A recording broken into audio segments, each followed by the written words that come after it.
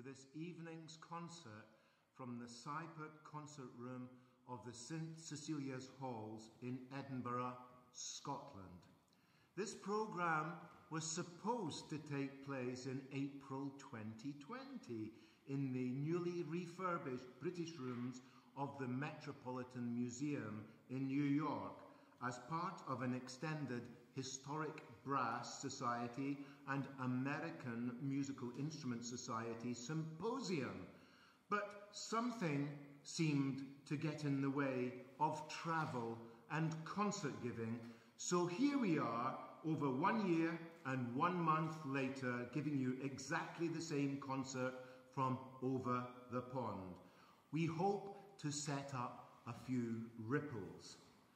As well as forming the final concert of our historic Brass Society conference, which has gone on for the last three days, we are delighted to welcome guests from music clubs from all around the beautiful country of Scotland, from the Isle of Skye, Isle of Eigg, West Coast Arts, Gairloch, Thurso, Aberdeen, Dunfermline, Falkirk, Aboyne, Inverurie and Aberfoyle. And welcome also to the global community of people interested in music and especially brass music. We have many rarities and two first performances for you in tonight's concert, which will last for just over an hour, but it will be available for an eternity on YouTube, so you will all be able to live happily ever after through repeated listening when the music stops. We're going to begin with the first live performance for 160 years of August Mimart's Septet number 2 in C minor. Tony George found this, and Sandy Coffin is putting together a scholarly edition of all six septets. So we feel a real sense of responsibility to re-establish the name of this really talented brass composer. Septet number two plays on the duality of C major and C minor, with the saxo tromba given a solemn C minor melody to open and the bugle, the flugelhorn, being given a jaunty, cheeky C major tune. This, I imagine, is the sort of music that would have been played on Adolphe Sax's instruments when curious composers such as Berlioz, Liszt, and Wagner went to the Salle Sax to hear what Saxy's new inventions were capable of. August Mimart, Septet number two in C minor.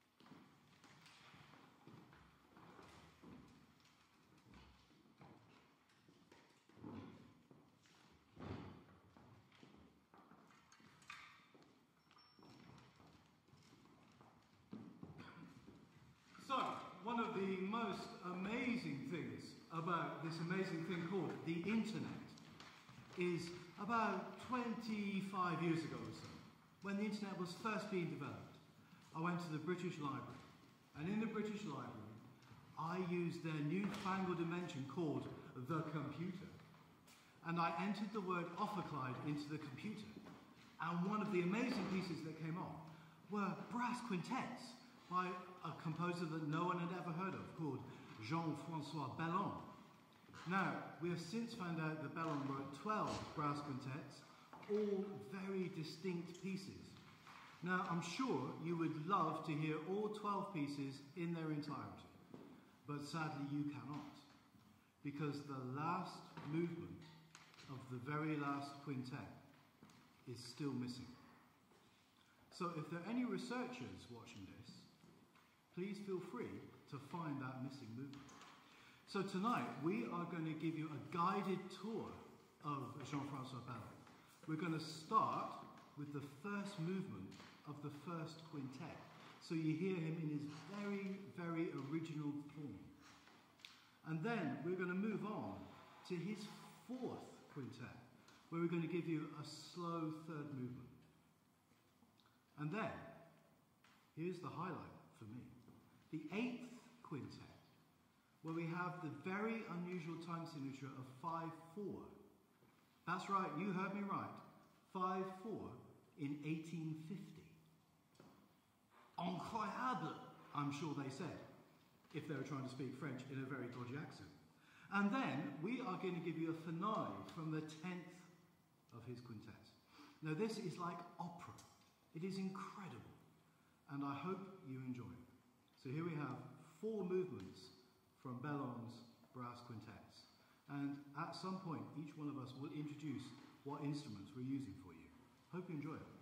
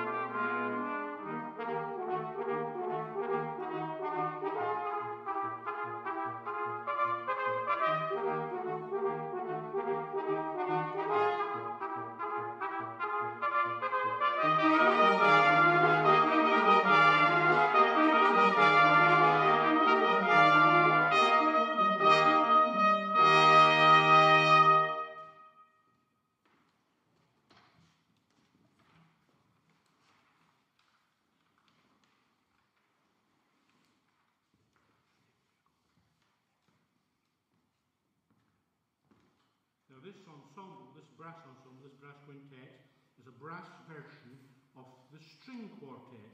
Now, the string quartet has two violins, and likewise, this ensemble has two soprano instruments, and they vie with one another.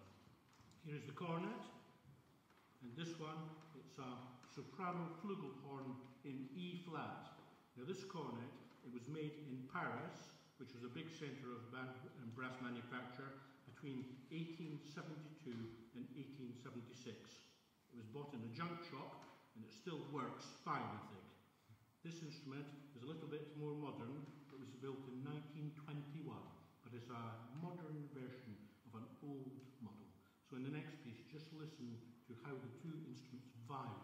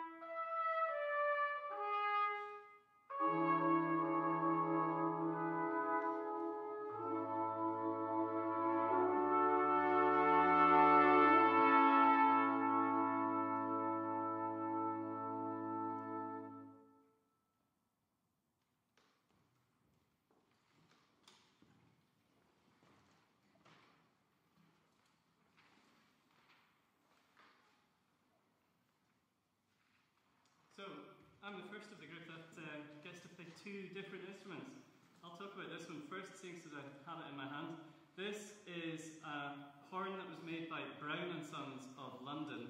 The date somewhere around 1885 or 1888. It's quite an unusual horn in the sense that the whole instrument is made by Brown and Sons. It was, of course, at a time when the transition from horns with no valves to horns with valves was happening, and so Brown and Sons were particularly well known for making this removable sauterelle.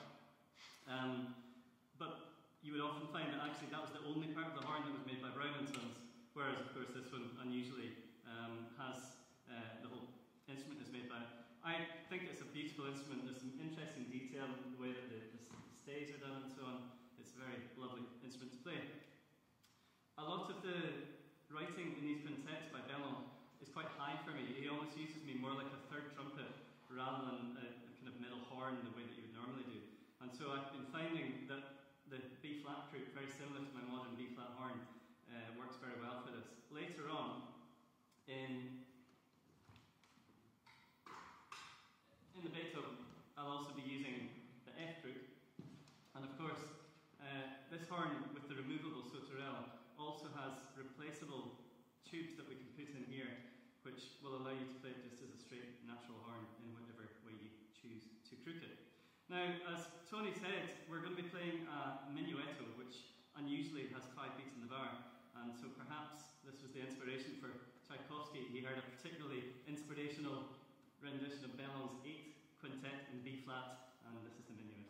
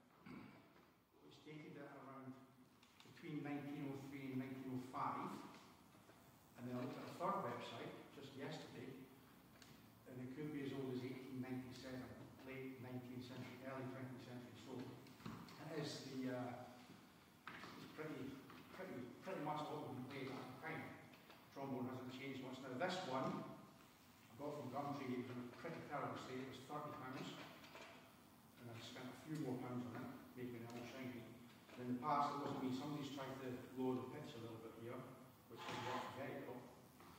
Um, so yeah, there's my person. Chicago War, trombone from London.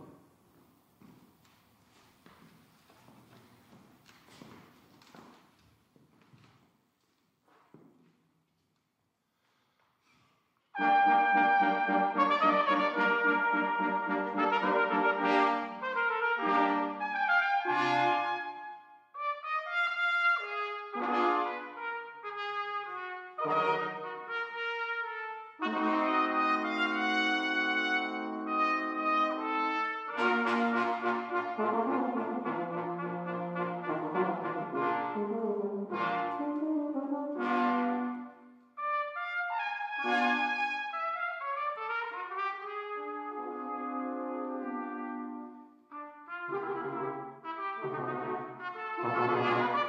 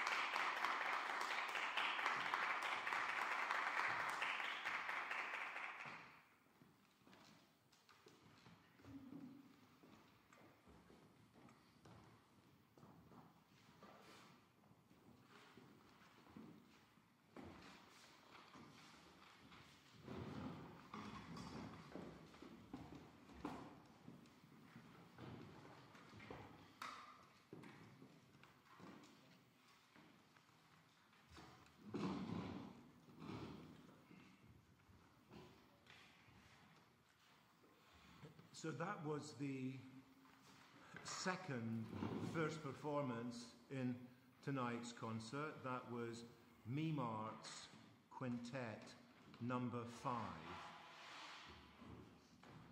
the fifth of six quintets. And before our last pieces, I'd like to thank you all for coming to tonight's concert.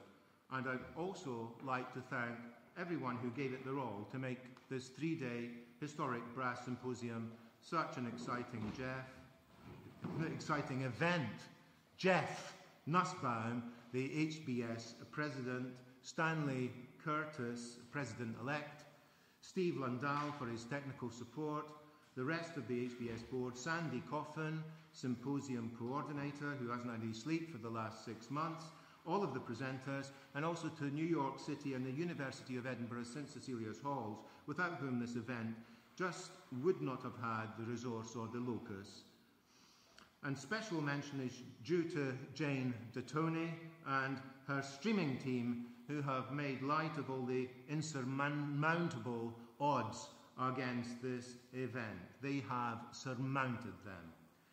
So to, to finish off the, the concert, we're going to play some music uh, with local interest and also with some relevance to pond life, the nickname of this symposium. Uh, when I was an uncouth brass player sitting at the back of the Philharmonia Orchestra, I still am an uncouth brass player, in fact, uh, we used to refer affectionately to the sea of string players in front of us sawing away as the galley slaves of the orchestra as pond life. And 18th century violinist George Thomson was part of the local pond life in this very hall. He joined the Edinburgh Musical Society around 1780 and played the violin in the orchestra of the St Cecilia's concerts. In this hall we are playing from tonight, the second oldest concert hall in the United Kingdom. Thomson was an early romantic, a friend of Burns and Walter Scott, and a really early publisher of folk music, not only Scottish, but from every part of the British Isles. He commissioned Haydn, Hummel, and Beethoven, amongst many others, and Beethoven made a fabulously inventive professional job with the tunes and words Thomson provided him with. And now we're going to play four short pieces from around our islands, commissioned by Thomson from Beethoven. The first from England, God Save the King. The second from Wales, Sion, the son of Evan, the chase of the wolf. The third from Ireland, uh, Bugles sung truce. And lastly, uh, from uh, Scotland, like the Prince uh, concert band last night, Auld Lang Syne. So let's all link arms over the pond for that last one. Beethoven and Burns are essential for messages of universal goodwill. It's been a great pleasure playing to you this evening.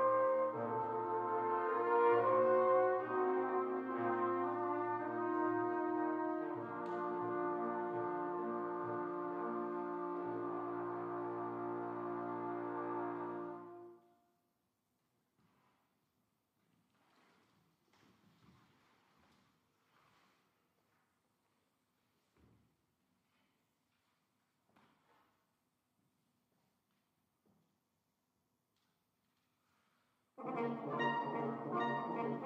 you.